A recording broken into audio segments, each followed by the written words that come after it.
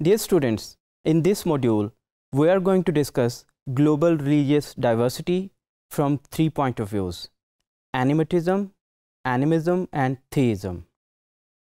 Animatism refers to a belief in impersonal supernatural forces that animate the world and govern the natural phenomena.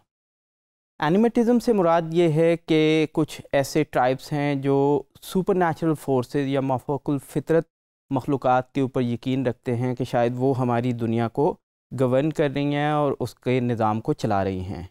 इस belief के अंदर जो खुदा का तस्वुर है, वो इन इनएनिमेट होता है या इम्पर्सनल होता है।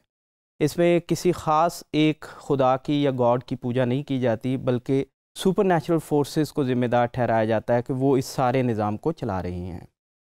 Then we have animism in contrast which involves the believe that natural objects such as rocks trees और animals possess spirits or souls that can interact with or manipulated through rituals and magic.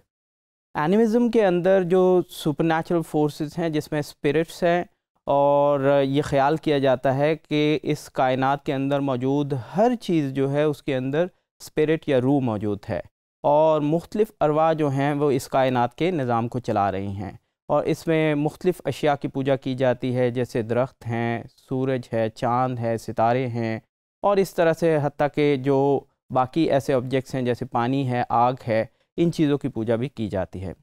Then we have theism Theism involves a belief in a personal transcendent और deities who are involved in human affairs and can be approached through prayer, worship and ritual.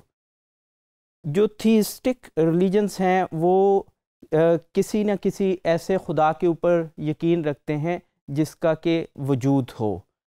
अब ये एक खुदा भी हो सकता है और एक से ज़्यादा खुदा भी हो सकते हैं। सो so, थीज़म के अंदर आगे दो टाइप्स हैं जिसमें एक जो है वो मोनोथिज़म कहलाती है और दूसरी पॉलीथिज़म कहलाती है। मोनोथिज़म में जो है वो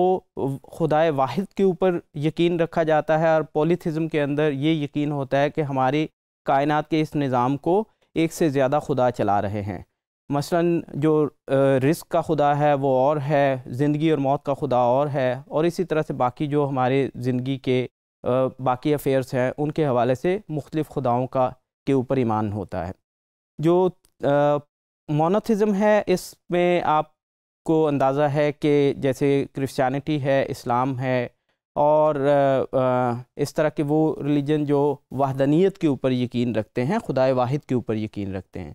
पाकिस्तान के अंदर जो हमारा यकीन या ईमान है, वो खुदा वाहिद के ऊपर है, लिहाजा इसी वजह से हम मोनोथिस्टिक रिलीजन कहलाते हैं और इसी हवाले से जो मेजॉरिटी ऑफ़ पॉपुलेशन है they practice some form of theistic religion while Islam being the predominant faith लेकिन इसमें कुछ ऐसे अकायद भी मौजूद हैं कि जिसमें हमें एक झलक जो है, वो शायद एनिमिज़म की भी नज़र आती है। जैसे कुछ लोगों का जो है रेफरेंस इन नेचुरल ऑब्जेक्ट्स या जन्ात या इस तरह के माफोकुल फितरत किस्म की मखलूक़ के ऊपर यकीन होता है। तो इन अ नटशल जो रिलीजियस ग्लोबल रिलीजियस डाइवर्सिटी है, उसको इन तीन टाइप्स के थ्रू देखा जा सकता है और आगे फर्दर जो थेस्टिक रिलीजन्स हैं, उनको दो फर्दर टाइप्स के तौर पे देखा जा सकता है पॉलीथिज़म एंड मोनोथिज़म